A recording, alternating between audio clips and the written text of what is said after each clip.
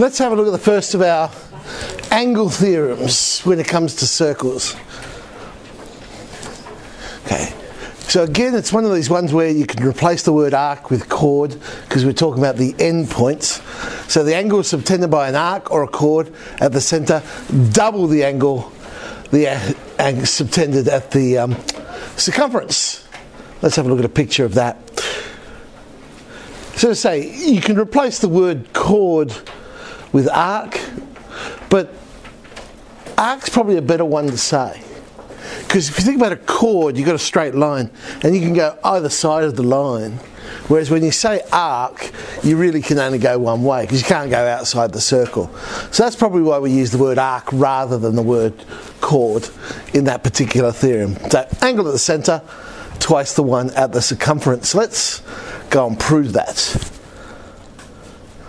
Well, how I'm going to prove it is I'm going to uh, join up B and O and, and produce it to a, a third point, which I'll call X. Now, I know triangle AOB will be isosceles because AO and BO are both radii. So therefore, angle OAB must be the same as OBA. They're the, the base angles in the isosceles triangles, or if you prefer, the, the angles opposite the equal sides in the triangle are, are equal. And AOX will be, well, it's the exterior angle of the triangle. So it'll be those two added up, OBA and OAB. But we just said they were the same, so I could say that's twice OBA. Now, that's what I just did with the triangle on the left hand side of my line BX. But I could do exactly the same with the one on the right hand side. So I don't write it all out again because I would do exactly the same steps.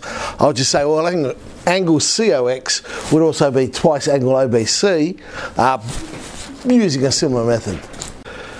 So if I add those two together, I get AOC is twice ABC. So the angle of the centre is in fact twice the angle at the circumference. That then leads to another theorem, the angle in the semicircle theorem. It's always going to end up being a right angle. And the reason for that is, well, it's the same theorem we just did. It's just that the angle at the centre now is a straight line. So we can say, so AOB is a straight angle, so it's 180 degrees, but the angle at the centre is twice the angle at the circumference, so therefore the one at the circumference must be 90 degrees. So that's how we prove our angle in a, a semicircle theorem. Okay, so there's just a couple of angle theorems to, to start us off.